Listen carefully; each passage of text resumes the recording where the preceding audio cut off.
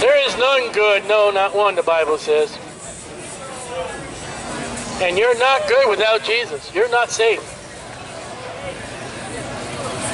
You will not have great expectations when you die without the saving grace of Jesus. Eternal life, and the Bible does speak about eternal life, will not be comfortable when you die without the Lamb. When you choose to believe something other than Jesus, you're not safe. When you choose to reject God and proclaim there's no God, that God that you do not believe in will cast you in the lake of fire. Just because you don't believe in God does not make it so. Because you think that what you do is able to please God doesn't make it so. When God has set forth the standard, and that standard's in Jesus and Jesus alone. I like it as one of Satan's tools in his toolbox. It's not what you like. It's not what you think. It's not your opinion. It's what the Bible says. And the Bible says, believe on the Lord Jesus Christ, and thou shalt be saved. There are no other options. There is no other way of salvation. Must come to God on God's terms. And God's terms is Jesus.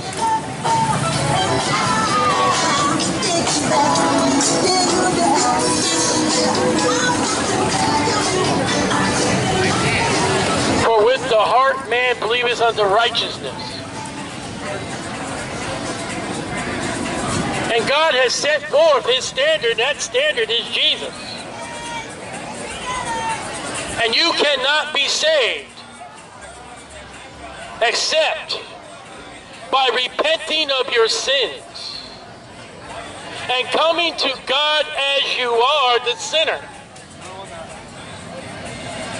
And being sorry for those sins that you have done. If you don't, it's called easy believism, and there's no salvation. Don't come to God and say, Well, I said a prayer. Come to God in repentance. Come to God through your heart that you have sinned against a holy and righteous God. And that holy and righteous God without Jesus will cast you off into hell forever because you have rejected Jesus as your saving grace. You will not get out of hell by anything but Jesus Christ. The Bible says, believe on the Lord Jesus Christ and thou shalt be saved. And when you do not want to obey the Bible, Jesus will tell you, Depart from ye workers of iniquity. I never knew you. If you're not known by God, God will not know you. And the only way you can know God is through Jesus Christ. Believe on the Lord Jesus Christ, and thou shalt be saved. You can settle your eternal destination through Jesus. Or you can serve your eternal destination in hell by rejecting Jesus.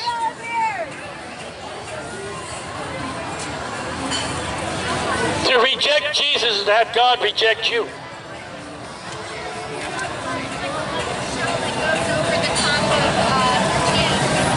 And in hell there is no alcohol. And the rich man that went to hell said, oh, if I could just have a little drop of water. I'm in torment in this flame. And the Bible speaks about hell being in darkness. And the Bible speaks about hell, a place of torment. Because you won't trust in Jesus. He said, oh, if I can have that little pleasure of sin, that little pleasure of sin can get you eternal damnation out of the presence of God forever. And you're not saved. You're not saved without Jesus Christ. Oh, yeah, yeah, yeah. See that bicycle? No, no, I did. I was. The only place for you and without Jesus is hell. The only option you have to get to heaven is when Jesus said, I am the way, the truth, and the life. No man cometh unto the Father but by me. And when Jesus says, I am the way, there's no other way. And to say that there's no God, the Bible says you're a fool.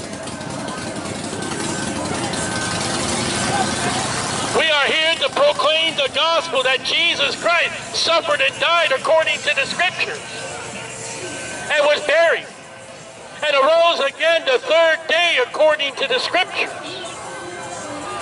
Go off in the chief place of concourse and tell them through wisdom that Jesus saves and only by Jesus Christ. And it's so great that an owner of a restaurant will have his employees come out to hear the gospel. And you have heard the gospel that Jesus saves. And you will not be able to tell God, I never knew.